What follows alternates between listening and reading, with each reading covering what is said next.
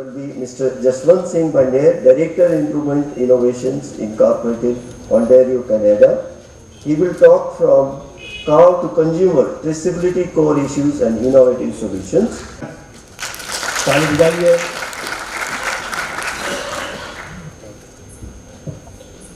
I bow my head and salute NDRI as my guru that converted a mechanical engineer in me into dairy engineer many years ago.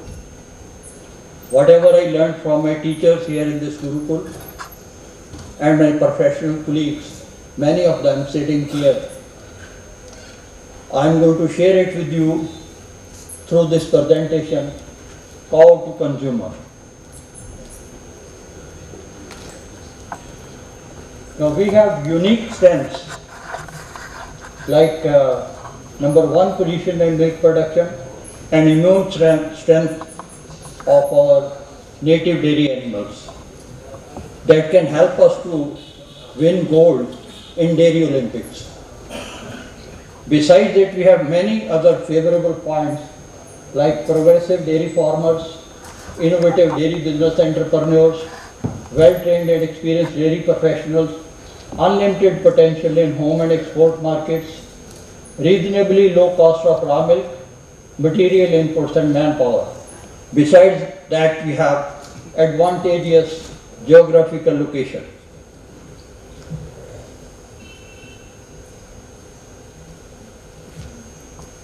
Zero defect, zero effect, make in India. Visionary goals projected by Honorable Prime Minister are not impossible dream slogans that cannot be translated into reality by us as dairy professionals who love their motherland. Our mission and our associates carried out SWOT analysis of dairy business in India and we have listed five chronic problems that come in our way as hurdles to improve our global image in the market. Now, number one is procurement of absolutely pure raw milk without any manipulation, adulteration or dilution. This single problem, I call it a root cause problem. This is the root of all problems that everyone, every dairy business entrepreneur in India is facing. Even if we admit to a certain extent or we overlook these issues, but I feel all the other problems relating to quality and all what I have been hearing in the sessions yesterday and today, they are all linked to this basic problem which still remains unresolved. Like uh, the other problems are ever increasing high gap between farm gate price and consumer price. If we see 10 years ago, what was the price getting, reaching the farmer and what was being charged from the consumer? It has become almost double. When this gap increases, the middleman becomes more strong. Because if you reduce this gap, the middleman will automatically die its own death. And if, if we come to the quality aspect, world over, if we see any advanced country, pasteurized milk sold anywhere is having shelf life of two to three weeks. If you designate uh, on a pouch of milk that it is pasteurized, it is supposed to remain good for consumption at least for two to three weeks. But here in India, it has become customary to label one or three days shelf life. And if it is, if the shelf life is only one, one day or three days, that means the milk is not microbiologically safe for drinking. And it needs boiling before consumption. And if you have to boil the milk, I was, I, I was wonderstruck. If uh, milk has to be boiled before consumption, then what is the need of pasteurization? Pasteurization is needed if, if we, are, we can consume the milk uh, for two weeks in fridge anytime we like without heating or without boiling. So this is a, a serious issue which needs our attention. Why are we not looking at uh, our global competitors? If they come here and start marketing pasteurized milk with two to three week shelf life, who will purchase our milk? And next is undesirable dominance of middlemen in the value chain. There are seven middlemen in the value chain. I call them Rahu Ketus. These Rahu Ketus, they are flourishing at the cost of the milk producer and the consumer. And we need to look into these Rahu Ketus. If we really want to compete with the global competitors, they are walking into our market and we have to be careful. Next is product traceability and financial accountability. This is a very uh, serious issue because the topic uh, we are all discussing traceability. Uh, I'm sorry to inform you that uh, raw milk has 80% contribution in milk business and we are not able to trace uh, how much buffalo milk we are purchasing, how much cow milk and how much of it is added water. So this is again a, a very serious issue. Uh, if we cannot identify uh, how much of milk, the milk, mixed milk reaching our dairy plant, how much of it is buffalo milk, how much is cow milk and how much is added water. I hope you will all agree with me that these are real complex problems and core issues which need to be addressed in this uh, conference. We are all joining our heads together. Is there anybody in the delegates who differs with me? Please raise your hand. I hope all of you agree with me that uh, these are real core issues. And if these are real core issues, do we have arithmetically correct and scientifically logical and easy to implement solutions for all these problems? Anybody? Please raise your hand. Okay, so then we'll go ahead. Now, let's do root cause analysis of all these problems, complex problems and core issues one by one. So the major which I said is the seed and the root cause of all the problems is how to procure pure milk without any manipulation, adulteration and dilution. It's just coincident it becomes mad, but uh, it has made us everybody mad. We are not able to tackle manipulation, adulteration, dilution in the milk that we are purchasing. The problem uh, is unique. Uh, I, um, I have uh, visited number of uh, dairy plants in USA, Canada, and I say they have no problems in procuring absolutely pure milk at the dairy plant. There is no issue. Why? I probed when I told why there is no issue. They are not purchasing milk on two axis basis. There are only cows and they purchase cow milk. And when they are purchasing cow milk, uh, the standard composition of cow milk is 3.5% fat and 8.5% SNF. So they, uh, they take that freezing point of this milk as the benchmark. They measure the refractometer index reading with uh, using cryoscope and they can minutely assess the added water even if it is half percent or one percent it is detected and no money is paid for that added water and that if the dilution is beyond permissible limits, you cannot sell that milk to liquid milk plants selling pasteurized milk. So that milk will go to product factories and they offer lower price. So there is a double deterrent for added water in milk. So that is why their products are taste wise and quality wise meeting all the international standards. And what happens in our case in India or in South Asian countries where we have buffalo and cow, uh, we have this two axis 60-40 formula and this formula, there is nothing wrong with the formula.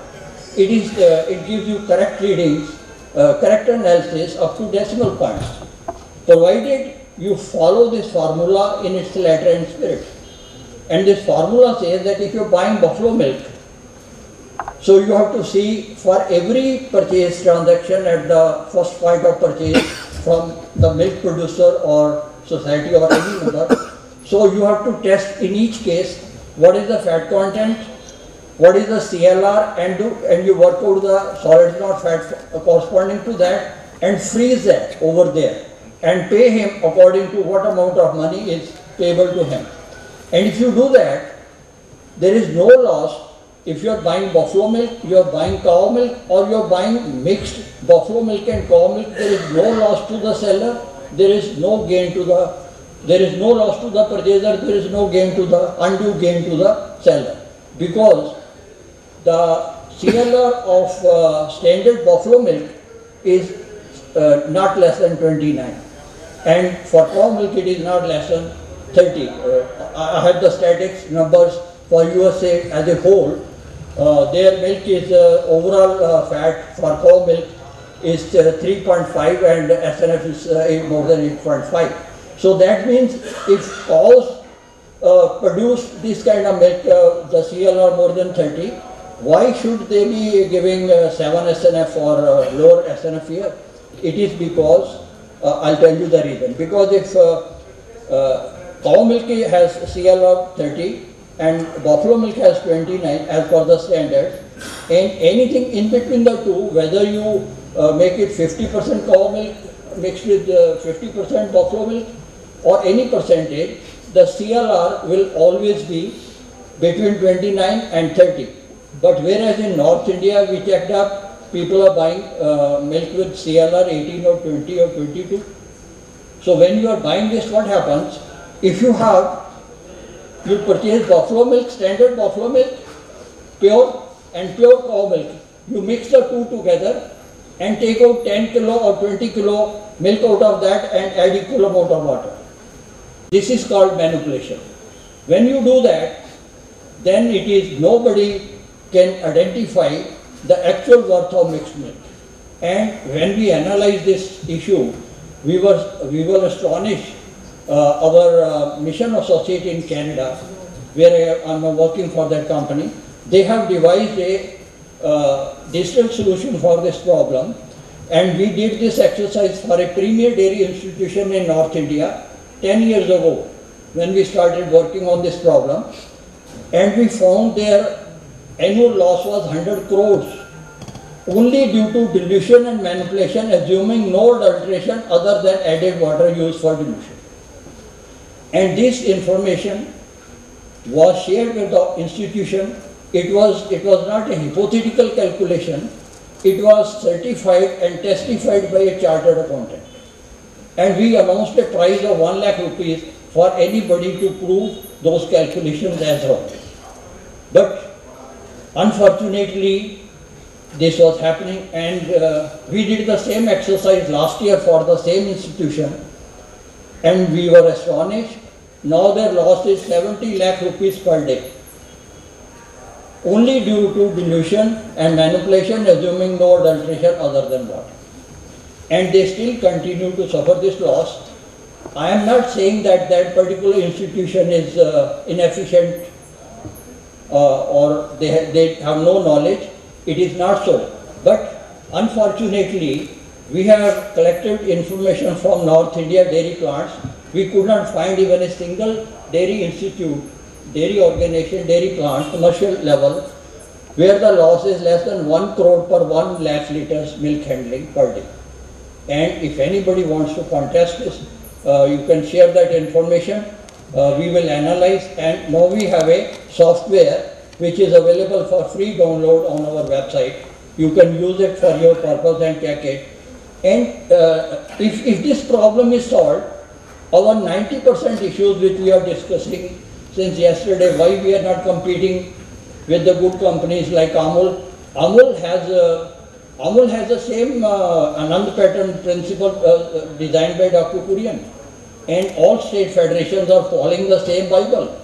It is not that the Bible for Punjab is different, for Haryana it is different. It is the same Bible. It, it is the same set of rules which are uh, given to everybody. But how you are implementing, if you have a uh, gun and you do not know how to load it, how to fire it, it's not the, and you are using it as a stick, uh, that's the problem. Uh, but this formula 60-40 uh, is not a faulty formula, but what we are doing, Like if you are purchasing a cloth, it is one meter width, you simply check the length, it is 10 meters, okay, fine. But you are not checking the width of it. But if the width wise, if he takes 20 centimeters, uh, makes it less, so your per square meter, how much you lose? And this is what is happening. We are not checking CLR at every single purchase transaction, and that is the reason for colossal loss. Uh, as per our rough estimate, everybody as on date, in North India at least, is losing 7 rupees are taken out of uh, uh, 1 liter of milk before the milk lands into uh, the plant. And that is why in the value chain, this middleman is emerging stronger and we and he is dictating the terms. And if he is dictating the terms, how can we compete uh, with the rest of the world? So, uh, uh, in, uh, evolved a Hansa test a few decades ago. It will tell you if buffalo milk is mixed in cow milk, but the limitation is that it cannot tell what percentage of cow milk is mixed in buffalo milk. So, this unprecedented increase in milk adult- adulteration over the last 10 years is primarily uh, because of this unresolved problem, which needs to be tackled by us joining our heads together. The global export from India would grow by leaps and bounds if we resolve this uh, core issue and problem. Next is that there is a, in the last one decade, there is a manifold increase in cost of inputs. And we have not evolved uh, new concepts, processing techniques or marketing strategies to reduce our total milk handling cost. We need to look into that. The global competitors have intro- introduced many value-added, high-margin dairy products. Like uh, I saw uh, Dairyman, a company in Japan selling uh, anti-stress milk, uh, $43 for 900 ml milk. And even the Yakult, uh, this uh, probiotic milk in, uh, available in all shopper malls today. Because if they bring in this high-margin uh, dairy products in our market, how are we going to compete? So minimizing cost and optimizing value addition to dominate global market could be our master key. Tremendous efforts are required on both the fronts to realize our cherished dreams. Common feature of all countries now dominating global markets is quality, productivity and their popular brands. Raw milk quality, post-processing contamination, I'm skipping because of shortage time. So mandatory third-party product quality certification. It is, it should not be that a plant is ISO certified. It should be, the product should be product quality certification from an internationally accredited uh, agency for all dairy plants without exception will be the right step to upgrade our global status. But meeting with all international quality requirements therefore remains a prime issue for Indian dairy industry to win gold in the dairy Olympics. The contribution of raw milk in, uh, is eighty percent. And but still majority of the dairy plants are dependent on procuring raw milk through network of middlemen. Raw milk quality is poor and landed cost remains high and nobody is responsible for the purity, dilution, manipulation on the way. So documented foolproof system for procuring pure milk directly from the milk, actual milk producer is the need of our, to improve our status. In uh, Western countries, they have mass production of milk in big dairy farms, whereas we, we have scattered low volume production or milk by masses in India. That is our limitation, but that is our strength also because we want to eliminate poverty. Small farmers, marginal farmers must be sustainable. That is the prime issue for which Dr. Kurian uh, uh, did so much labor for us. Our success to face emerging uh, cutthroat competition will largely depend on upgrading our system to ensure 100% product traceability from cow to consumer. Good news for ethical dairy business entrepreneurs in our country is that our associates have evolved scientifically, logical and arithmetically accurate and easy to implement solutions for all these core issues which I have discussed now.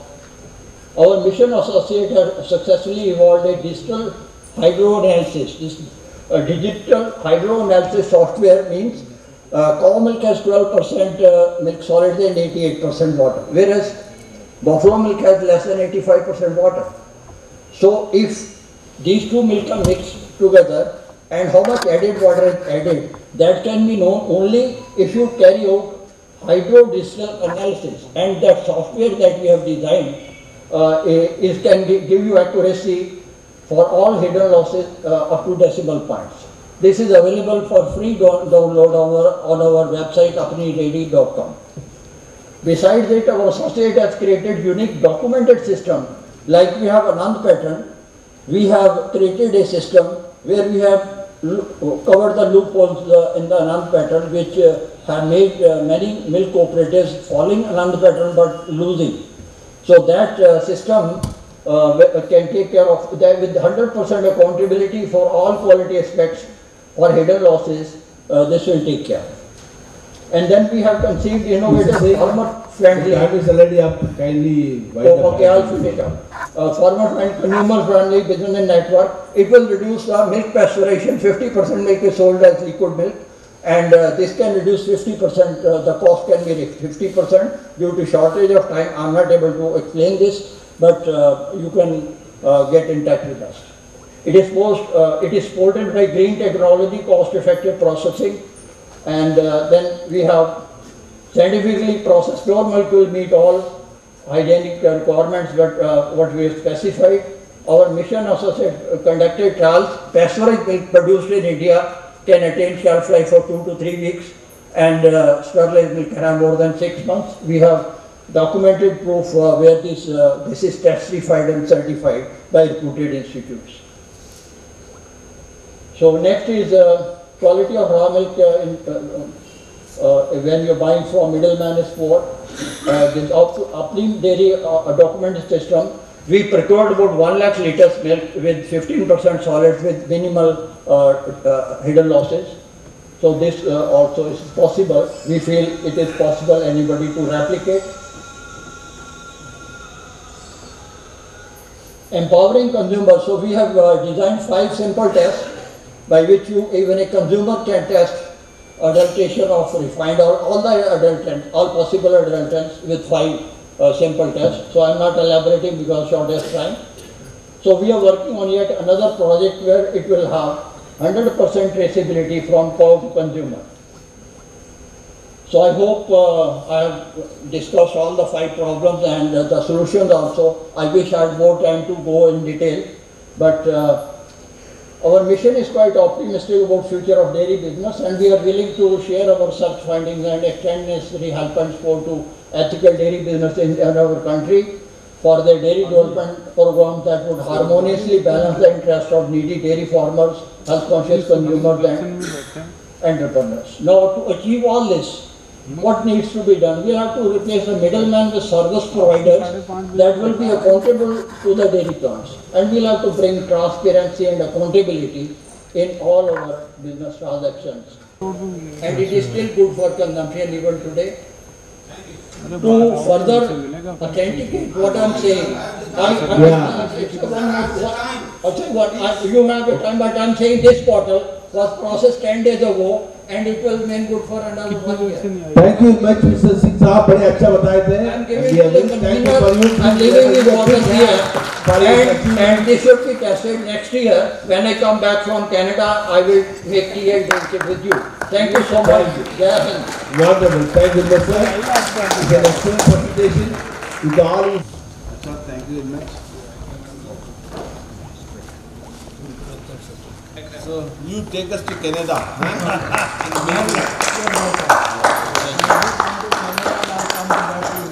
Sure, sure. Mr. Soren Graham.